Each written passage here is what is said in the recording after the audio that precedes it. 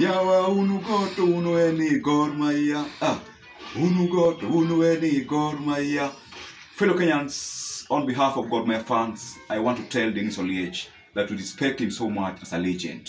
So we want him also to respect Kogalo because Kogalo deserves respect. You cannot say that Gor is only a place for retirees. When you say that you are discouraging young talents who are willing to join Kogalo. You're forgetting you had people like uh, Michael Olunga, Owino Kalaba, Khalid Aucho, and they are now doing so well. So we want you to withdraw your statement and apologize to Gor Mahia. And you have been, if you have been sent by somebody, go back to sender and tell him, Hora, ni waonge wadage. We are coming back after Corona. Okay. God bless you. God bless Kenya. God bless Gor Mahia.